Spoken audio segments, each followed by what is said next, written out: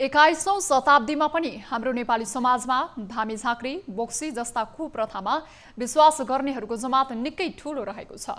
बोक्सी तन्त्र मन्त्र आदि लगाएर कसैलाई बिरामी पारेको भन्दै कुटपिट ज्यादतीका घटनाहरू समय समयमा हाम्रो समाजमा घट्ने गरेका छन्।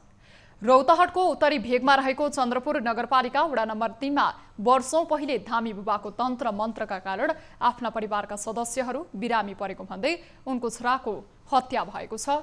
एक रिपोर्ट।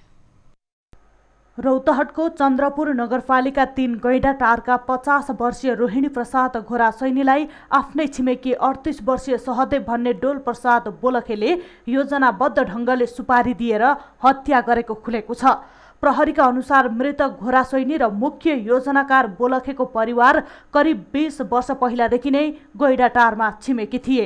घोरा सैनीका बुबा भीमदत्त घोरा सैनी धामी झाँक्रीको काम गर्ने गर्थे। करिब पन्ध्र वर्ष अगाडि बोलखेका घर परिवारका सदस्यहरू बिरामी भएपछि झाँक्री भीमदत्तमाथि तन्त्र मन्त्र गरेर बिरामी पारिदिने गरेको आरोप लगाउँदै बोलखे परिवारले आक्रमण गरेका थिए। यही कुराले दुई परिवार बीचको रिसिबी उत्पन्न भएको थियो। जुन अहिले मृतक हुनुहुन्छ हत्या गरेका व्यक्ति उहाँ चाहिँ उहाँ उहाँको बुवा भनेको धामी झाँक्री।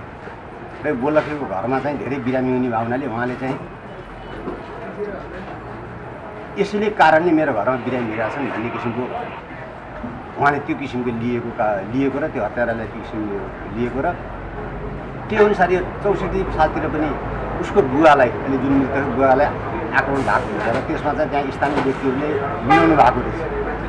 त्यही पनि उहाँको त्यो रिस भएको रहेछ कमी भएको रहेछ र यो जुन छब्बिस गते घटना भयो यो घटना घटना अगाडि तिन महिना अगाडिदेखि नै यसको तयारी भएको रहेछ। प्रहरीले घटनामा संलग्न रहेको आरोपमा चन्द्रपुर नगरपालिका तीन गैडाटार बस्ने पैँतालिस वर्षीय प्रहलाद फैयाल सिन्धुली पिपलमाडी गाविस वडा नम्बर नौ घर भई हाल पर्साको पर्सागढी नगरपालिका तीन सिर्जना टोल बस्ने चौबिस वर्षीय रमेश पहरी र नवलपरासी जिल्ला पूर्व कावासोती नगरपालिका आठ बस्ने तेइस वर्षीय सूर्य बहादुर भण्डारीलाई पक्राउ गरी सार्वजनिक गरेको छ।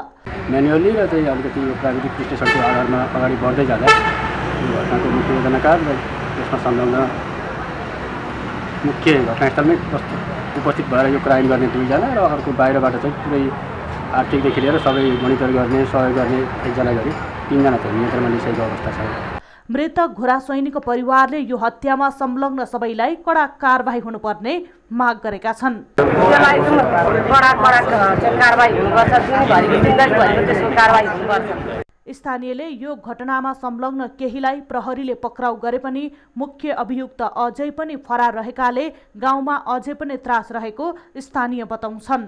प्रहरीलाई चाहिँ मेरो चाहिँ यो अनुरोध हो कि यो कमसेकम दुई चार दिन मान्छे अलि यो डर नहराउन्जेलसम्म चाहिँ प्रहरीले अलिक विशेष तरिका सुरक्षा सुरक्षा दियो भने राम्रो हुन्छ जस्तो लाग्छ। अझै पनि यस्ता कुप्रथाकै कारण विभिन्न अपराधिक घटनाहरू हुनुले अहिले पनि सामाजिक चेतनाको स्तर न्यून रहेको प्रष्ट भएको छ।